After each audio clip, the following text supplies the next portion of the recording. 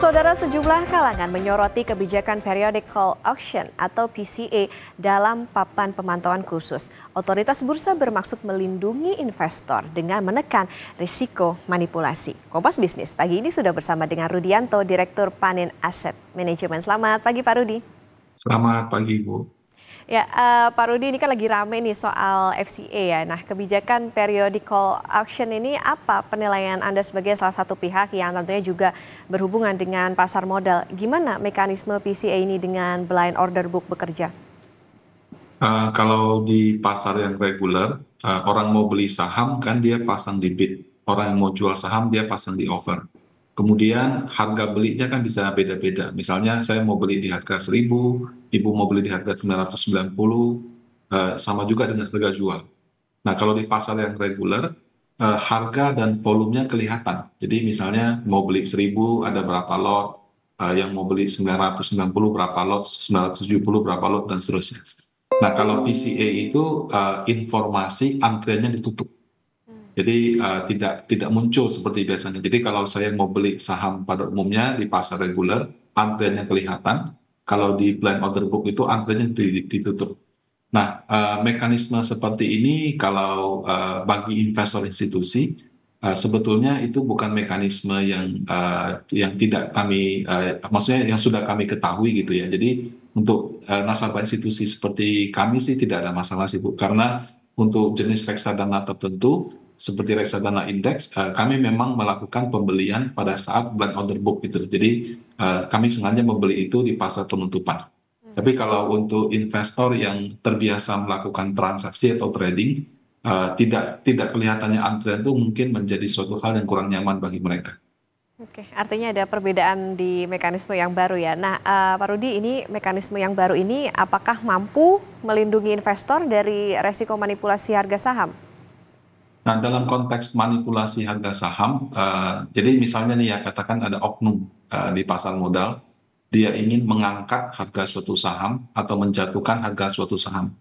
Nah, apabila informasi antrian tersebut dia ketahui, dia bisa hitung-hitung nih, oh ya kalau saya mau angkat misalnya harganya dari 1000 jadi 1200, saya mesti membeli sekian lot antrian yang ada. Uh, nah, uh, atau sama juga kalau saya mau jatuhkan harganya dari 1000 misalnya ke 900, itu saya tahu saya mesti jual berapa banyak saham supaya harganya jatuh.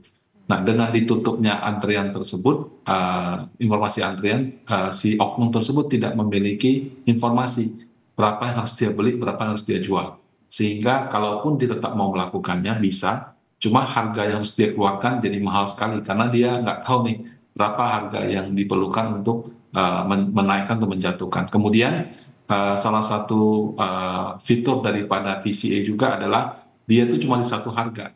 Misalnya kalau di pasar yang reguler uh, harga antriannya adalah 1000, uh, 1010, 1020. Saya beli semua. Jadi saya akan dapat harga 1000 sekian lot, 1010 sekian lot, 1020 sekian lot. Tapi kalau di PCA enggak. Kalau saya uh, mau melakukan uh, angkat harganya ke 1020, semua itu saya harus beli di harga 1020 jadi yang jual di harga 1000 pun saya beli di 1020, yang jual di harga 1010 pun saya beli di 1020. Nah, sehingga menjadi lebih ekspensif atau lebih mahal bagi investor yang mau melakukan manipulasi harga. Jadi dalam konteks untuk itu menurut saya uh, menurut saya sih uh, bisa menambah kesulitan bagi oknum untuk melakukan manipulasi harga. Hmm, artinya harganya per lotnya juga lebih pasti ya Pak Rudi ya. Nah uh, Pak Rudi apakah mekanisme PCA ini bisa berpengaruh uh, terhadap likuiditas dan juga potensi volatilitas yang lebih tinggi di pasar saham di Indonesia? Uh, nah uh, sekali lagi kan uh, investor di pasar modal ada banyak. Ada investor institusi, ada investor perorangan, investor perorangan ada yang beli dan tidur, ada yang beli dia lakukan transaksi gitu. Nah, bagi yang uh, investor yang senang melakukan transaksi, informasi uh, antrian yang tidak bisa diketahui tersebut memang mungkin membuat mereka menjadi sedikit lebih malas melakukan uh, transaksi. Bisa saja karena satu uh, dia merasa infonya tidak lengkap, atau yang kedua ya dia belum terbiasa karena mekanisme seperti ini itu uh, bagi investor institusi itu cukup cukup common ya cukup biasa. Tapi kalau bagi investor perorangan uh, mekanisme tersebut kalau saya lihat uh, mungkin belum terbiasa sehingga uh, mengurangi transaksinya. Tapi nanti kalau uh, sosialisasi dari perusahaan sekuritasnya cukup baik ya mudah-mudahan seperti biasa lagi begitu. Hmm, oke, itu tadi ya kuncinya harus bisa disosialisasi. Semoga uh, investornya juga ngerti gimana sih mekanisme yang terbaru ini. Oke, uh, Pak Rudi gimana jadinya strategi investor jika ini bertransaksi saham yang diperdagangkan secara PCA di papan pemantauan khusus? Nah, uh, suatu saham itu kalau masuk ke papan pemantauan khusus itu karena ada alasannya.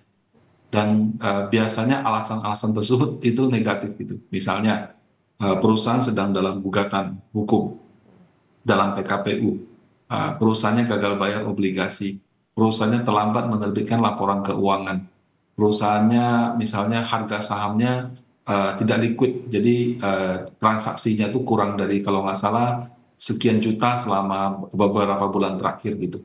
Artinya saham-saham yang masuk dalam papan pemantauan khusus itu sedang bermasalah ya Uh, dari masalah-masalah tersebut mungkin yang sifatnya bukan masalah besar itu kalau dia uh, saham beredarnya kurang dari tujuh setengah persen. Jadi kalau suatu perusahaan kalau dia menjadi perusahaan TBK minimum tujuh setengah persen dari sahamnya harus dimiliki oleh masyarakat umum. Nah terdapat beberapa saham yang uh, dia punya uh, kepemilikan kurang dari tujuh setengah persen. Nah itu juga masuk pemantauan khusus. Tapi kalau yang khusus yang itu biasanya tidak ada masalah di fundamental.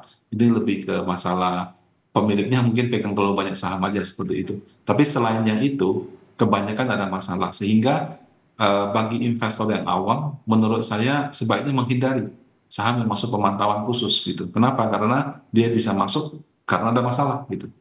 Nah, uh, kalau tetap mau beli ya karena perusahaan-perusahaan sedang bermasalah kan berarti harganya bisa saja sangat murah. Uh, jadi marketnya uh, mungkin melihat negatif sangat murah dan kalau kita percaya dia bisa melakukan turnaround, artinya uh, dia membalikkan situasi dari kondisi nggak bagus jadi bagus, mungkin saja ada capital gain gitu, yang uh, ada keuntungan yang besar. Tapi untuk bisa melakukan itu, itu butuh pemahaman yang mendalam tentang fundamental suatu perusahaan. Sehingga kalau misalkan tidak begitu mengerti tentang hal tersebut, menurut saya sebaiknya bisa beli saham yang biasa aja gitu. Oke, artinya dengan sistem baru, dengan PCA atau periodical auction ini, ini juga tentunya tadi ya bisa melindungi investor, termasuk juga tadi yang jadi uh, sorotan adalah soal bagaimana nih sosialisasinya supaya investor ini paham dan juga bisa ngerti entar gimana nih untuk uh, saham-sahaman aja yang masuk PCA atau yang di luar dari PCA ini supaya bisa lebih terlindungi. Terima kasih Direktur Panin Aset Manajemen Pak Rudianto sudah bersama di Kompas Bisnis. Sehat selalu.